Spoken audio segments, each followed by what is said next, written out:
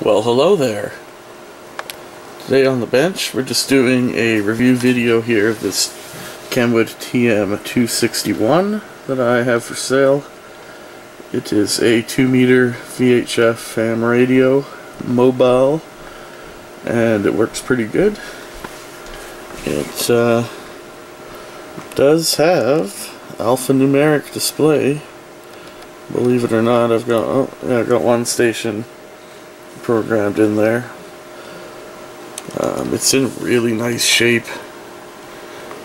It's a little bit dusty at the moment, but there really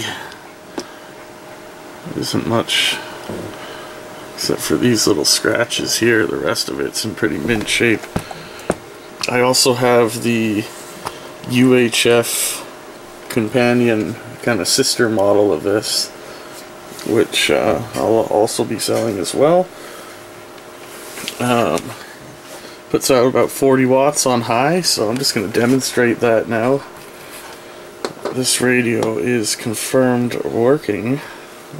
Just give me one second.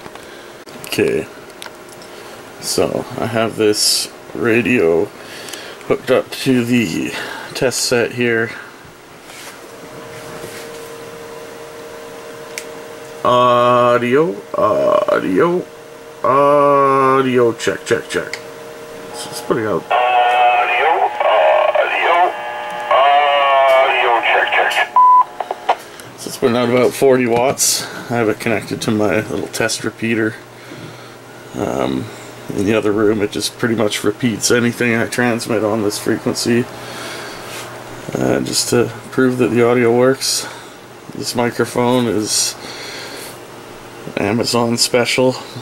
The, it works on here, but the DTMF does not work on this mic for some reason. So,